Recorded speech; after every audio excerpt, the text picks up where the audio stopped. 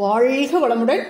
Welcome to TNPSC stars students zone students இன்றைக்கி உங்களுக்கான video ninth standard Tamil. இதில் பார்த்தீங்கன்னா இன்னைக்கு ஃபஸ்ட் மிட்டம் டெஸ்டினுடைய மாடல் கொஷின் பேப்பர் தான் நம்ம பார்க்க போகிறோம் ஸோ குட்டீஸ் இது எவ்வளோ மார்க்கு அப்படின்னு பார்த்தீங்கன்னா ஃபிஃப்டி மார்க்குக்கு தான் இந்த கொஷின் இந்த கொஷின் பேப்பர் சரிங்களா? அதாவது இந்த டெஸ்ட் உங்களுக்கு வந்து ஃபிஃப்டி மார்க்குக்கு ஓகே ரைட் ஏற்கனவே உங்களுக்கு என்ன சிலபஸ் அப்படிங்கிறத நம்ம சொல்லியிருப்போம். தெரிஞ்சிருக்கும் உங்களுக்கு மேக்ஸிமம் ஓகே ஸோ இதில் எல்லாமே பார்த்தீங்கன்னா மேக்ஸிமம் எப்போவுமே ரிப்பீட்டடாக கேட்டுக்கிட்டு இருக்கிற கொஷின் தான் இதில் இருக்குது சரியா? அது மட்டும் இல்லை இதில் நீங்கள் மேக்ஸிமம் கொஷின் எதிர்பார்க்கலாம். ஓகே ரைட் கொஷின் அப்படியே நான் படிச்சுட்டே வந்துடுறேன். அப்படியே பார்த்துக்கோங்க முடிஞ்சால் நான் ஆன்சர் உங்களுக்கு கொடுக்குறேன் சரியா?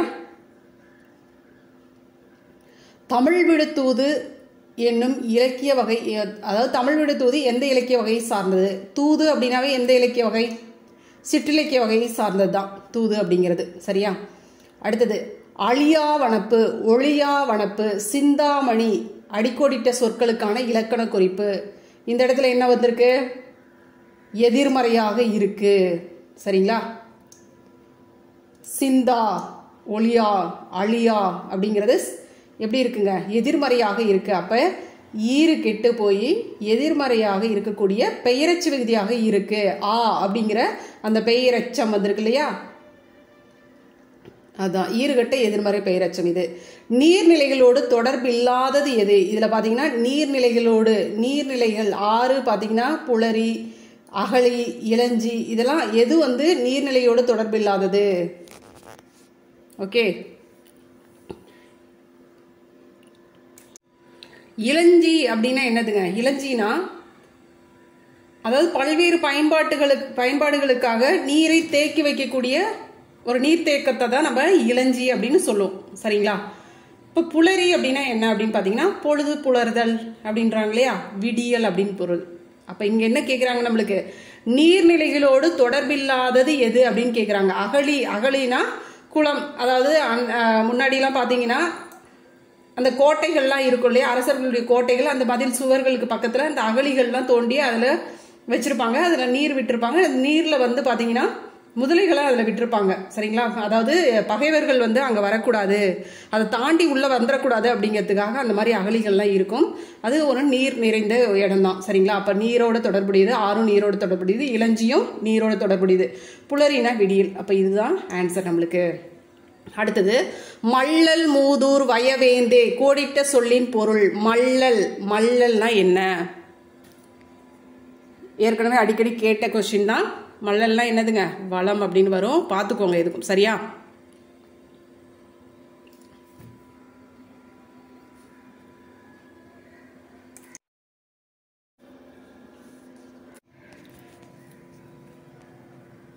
அடுத்தது பாருங்க. பாடலை படித்து வினாக்களுக்கு விடையளிக்கவும். காடெல்லாம் களைக்கரும்பு காவெல்லாம் குளைக்கரும்பு மாடெல்லாம் கருங்குவளை வயலெல்லாம் வெறுங்குவளை கோடெல்லாம் மட அன்னம் குளமெல்லாம் கடல் அன்ன நாடெல்லாம் நீர்நாடு தனை ஒவ்வா நலமெல்லாம். நாடெல்லாம் நீர்நாடுதனை ஒவ்வா நலமெல்லாம். இந்த பாடல் இடம்பெற்ற நூல் எது? சரிங்களா? இது எந்த பாடல் எந்த இதில் இடம்பெற்றிருக்கு? பாடலடிகளில் இடம்பெற்றுள்ள எதுகை சொற்களை எடுத்து எழுதுக. எதுகை சொற்கள் இது ஒன் மார்க் கொஷின் அப்படிங்கிறதுனால நீங்கள் ரெண்டு எதுகை சொற்கள் எதுகைனா என்ன? இரண்டாம் எழுத்து ஒன்றி வர்றது எதுகை. எல்லாமே பார்த்தீங்கன்னா இங்கே ஈஸியாக தான் இருக்குது நாலு எழுதினாலும் தப்பு கிடையாது. சரியா? அவ்வளோதான் ரைட் அடுத்தது டூ மார்க் கொஷின் பாருங்கள் விடைக்கேற்ற வினா அமைக்க உணவு தந்தவர் உயிரை தந்தவர் ஆவார். சரிங்களா? இப்போ உயிரை தந்தவர் யார்? உயிரை தந்தவர் தான் உணவை தந்த சாரி உணவு தந்தவர் தான் உயிரை தந்தவர். அப்போ இந்த இடத்துல முக்கியமான ஒரு கரு என்ன? உணவு தந்தவர். சரிங்களா? இந்தி நாடு மொழிகளின் காட்சி சாலையாக திகழ்கிறது என்று ச அகத்தியலிங்கம் குறிப்பிட்டார். இப்போ இந்த இடத்துல விடையாக இருக்கக்கூடியது எது? அகத்தியலிங்கம். சரிங்களா? தமிழோவியம் கவிதையில் உங்களை மிகவும் ஈர்த்த அடிகள் குறித்து எழுதுக. தமிழோவியம் கவிதையில் அந்த ஃபஸ்ட் ரெண்டு அடி எழுதுனீங்கன்னா போதும். உண்டி கொடுத்தோர் உயிர் கொடுத்தோரே குறிப்பு தருக. தன்வினை பிறவினை என்றால் என்ன? சான்று.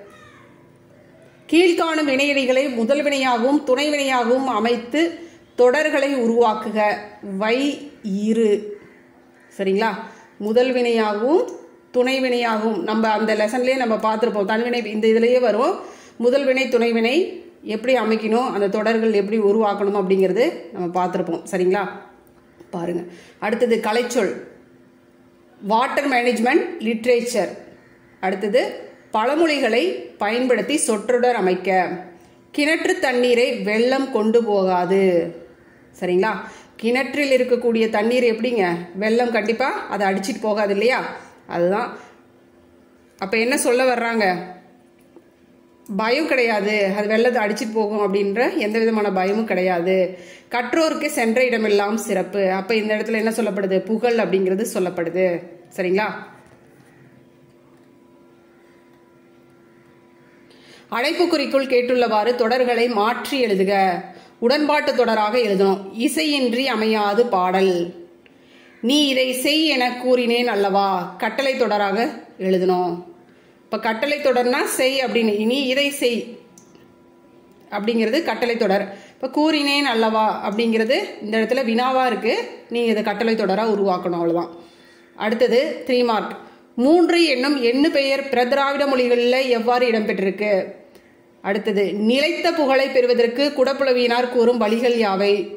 தித்திக்கும் தெல்லமுதாய் என தொடங்கும் தமிழ் விடுத்துவது பாடலினுடைய பாடலை அடிபெறலாமல் எழுதுக. பட்டமரத்தினுடைய வருத்தங்கள் யாவை? இதெல்லாமே நான் கொடுத்துருக்கேன். இந்த க கடிதம் தனியாக நம்ம கால் முளைத்த கதைகள் அப்படின்னு சொல்லிட்டு தனியாக கொடுத்துருப்போம். அடுத்தது கவிதை. சரிங்களா? பிறந்தநாள் பரிசாக அனுப்பிய எழுத்தாளர் எஸ். ராமகிருஷ்ணன் கால் முளைத்த கதைகள் என்னும் நூல் குறித்த கருத்துக்களை கடிதமாக எழுதுக. குட்டீஸ் ரொம்ப ரொம்ப முக்கியமான ஒரு கடிதம்.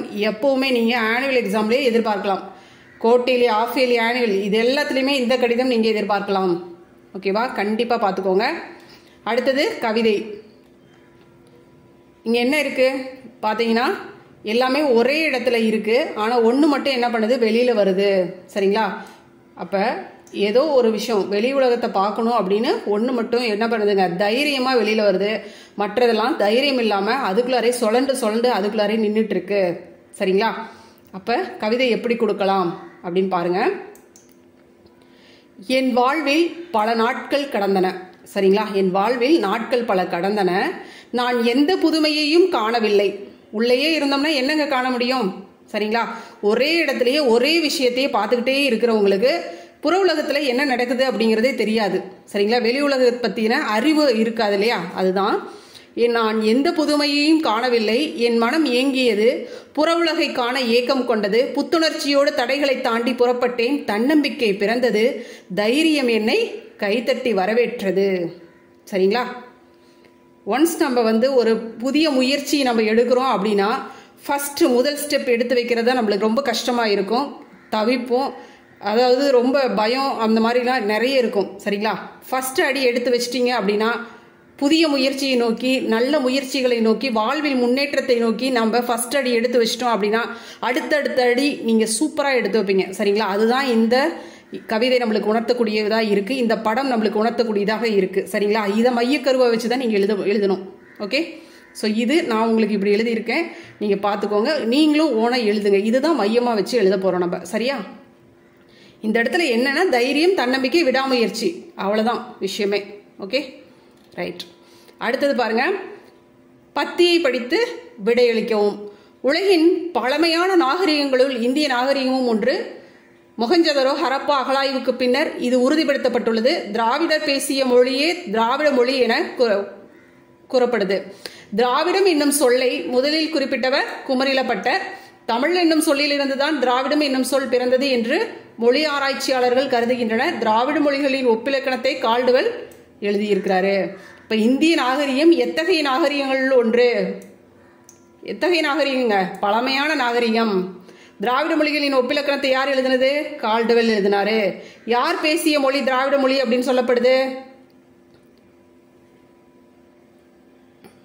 திராவிடர்கள் பேசிய மொழி தான் திராவிட மொழி அப்படின்னு சொல்லப்படுது. திராவிடர்கள் பேசிய மொழியே.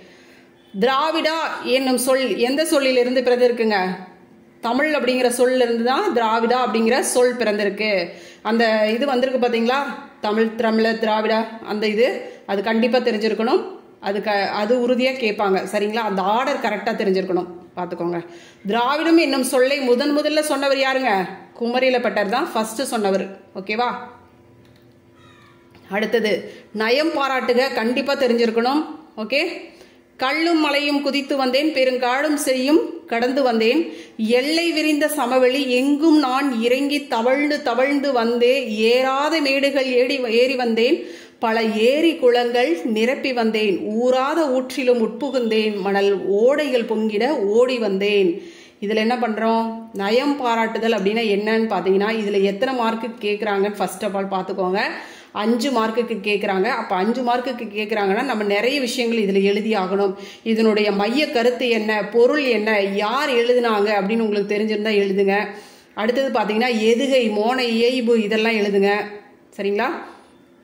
இதெல்லாம் தான் முக்கியமான விஷயம். ரைட் அடுத்தது எட்டு மார்க் கொஸ்டின் திராவிட மொழிகளின் ஒப்பியல் ஆய்விற்கு தமிழே பெருந்துணையாக இருக்கிறது என்பதை எடுத்துக்காட்டுகளுடன் விவரிக்க வெரி வெரி இம்பார்ட்டன்ட் கொஸ்டின் எப்பவுமே வந்துட்டு இருக்கிற கொஸ்டின் தான். அடுத்து தண்ணீர் கதையை கருப்பொருள் குறையாமல் சுருக்கி எழுதுக.